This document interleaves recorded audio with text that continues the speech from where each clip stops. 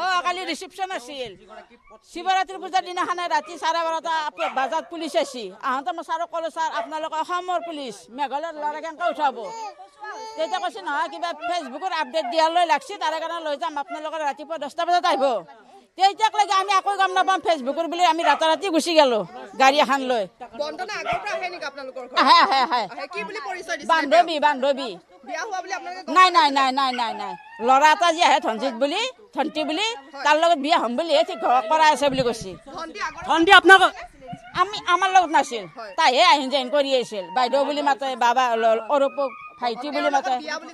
অ বিয়া বুলি কৈছে এই ধন্তিৰ লগত।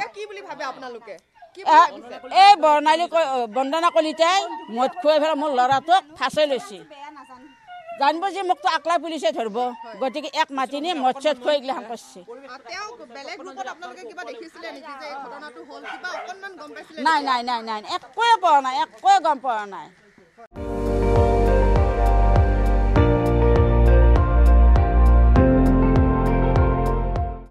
আপুনি চাই আছে এন ডি টুৱেণ্টি ফ'ৰ। সৰ্বশ্ৰেষ্ঠ নহয় সৰ্বোত্তমৰ দৌৰা